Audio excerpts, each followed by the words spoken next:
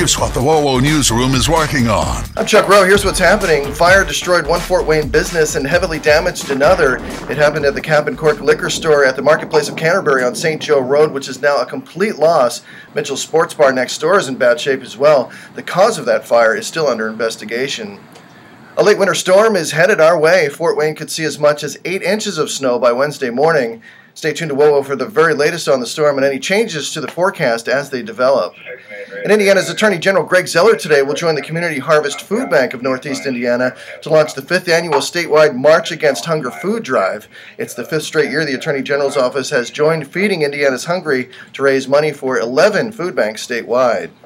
Get the latest on these stories and more on News Talk 1190 WOWO, now on 92.3 FM, and always online at WOWO.com.